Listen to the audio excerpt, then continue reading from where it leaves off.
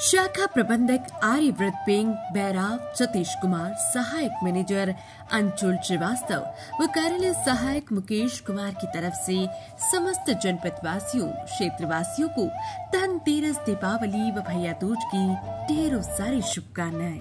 मैं शाखा प्रबंधक आर्यव्रत बैंक समस्त स्टाफ की तरफ़ से, समस्त क्षेत्र की जनता को धनतेरस व दीपावली की हार्दिक शुभकामनाएँ देता हूँ।